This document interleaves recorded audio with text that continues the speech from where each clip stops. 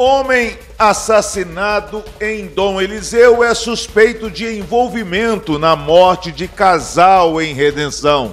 Carlos Alexandre da Cruz Souza, de 27 anos, assassinado a tiros em Dom Eliseu, sudeste do Pará, na tarde de domingo, dia 28, é suspeito de envolvimento em duplo homicídio registrado no dia 18 deste mês de abril em Redenção. Ivan dos Reis Marques e Sara Carvalho foram as vítimas do crime em questão. Além de Carlos, um outro homem, identificado pelo apelido de DK, foi ligado à morte do casal e preso no dia seguinte ao crime em Redenção.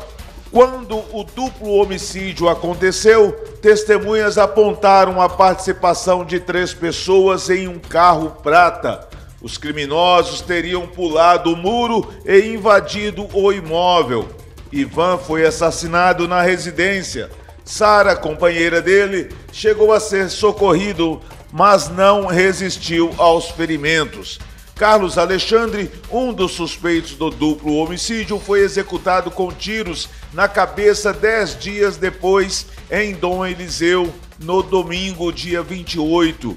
Segundo Polícia Civil, ele seria membro da facção criminosa Comando Vermelho, que atua em Redenção.